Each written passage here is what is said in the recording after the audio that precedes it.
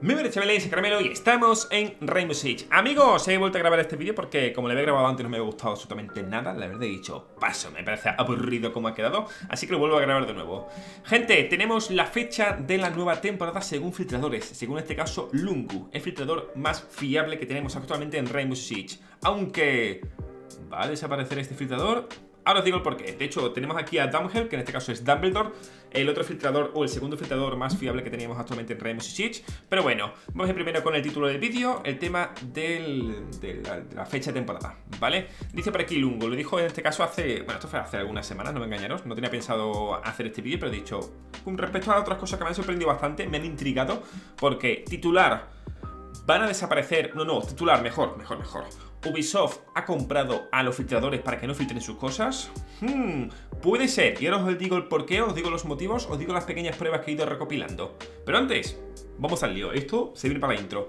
Amigos, como veis, esto es una filtración que sacó Lungu hace unas semanas. Dice, en la lista de reproducción de descubrimiento del recuerdo de consulado estará activa desde el día 30 de mayo, día que saldrá la nueva temporada hasta el día 13 de junio. Como veis por aquí en este tweet o en este Telegram, eh, bueno, este mensaje que puso en Telegram, la nueva temporada sería o estaría disponible a partir del día 30 de mayo, ¿vale? Es decir, que en cosa de un mes y 10 días, un mes y una semanita, tendríamos la nueva temporada de Rainbow Six. ¿Vale? Que de hecho tenemos, bueno, tenemos por ahí el nombre filtrado según parece, o según puede ser, de, parte de Lungu. Pero vamos a ver ciertas cosillas, ¿vale? Eh, hasta aquí dicho, el 30 de mayo como tal sería la nueva temporada de, la operación, o sea, perdón, del año 8, temporada número 2, ¿vale? De Rainbow Six.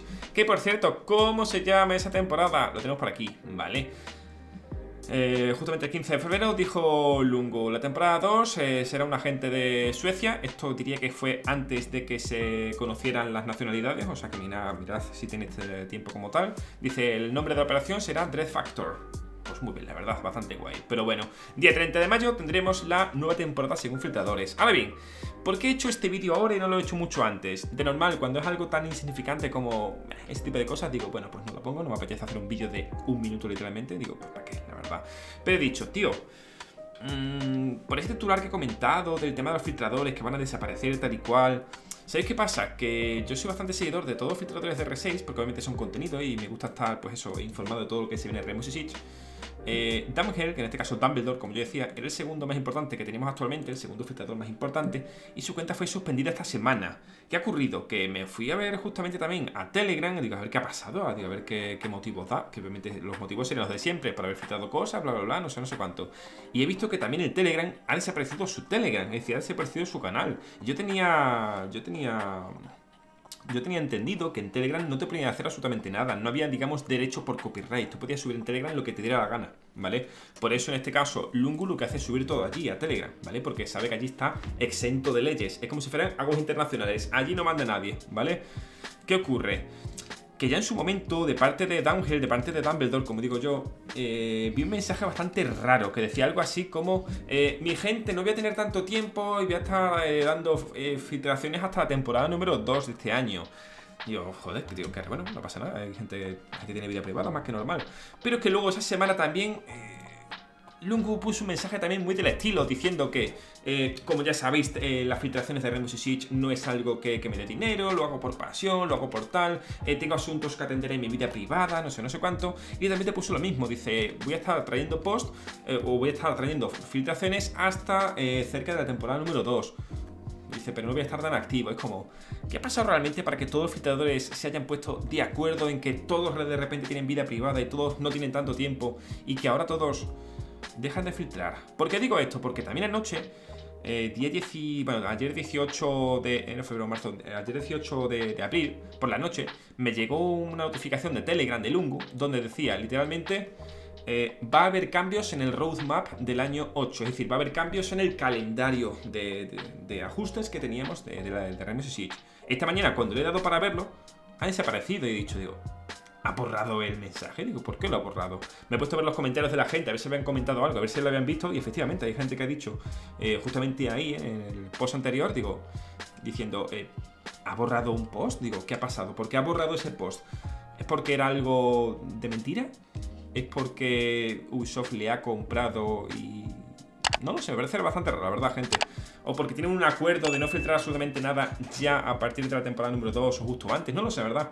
Me parece algo bastante raro que justamente todos los filtradores de R6 se hayan puesto todos de acuerdo para no filtrar nada y para, y para que todos de repente tienen vida privada. No sé, me parece algo bastante raro, la verdad. No sé qué opinaréis vosotros de todo esto. A mí me tiene bastante intrigado. Y ya me había algún comentario de... El conspiranoico menos conspiranoico. no sé, amigos, no sé. Que todos se hayan puesto de acuerdo para tener vida privada, no comentar absolutamente nada, desaparecer de las redes, desaparecer de todos lados como... Qué raro, ¿no? No sé, igual todo esto es posiblemente una conspiración mía, la verdad, una, pequeña... Soy una persona, soy un poco conspiranoico con ciertas cosas. lo mismo esto no, no, es nada, pero bueno.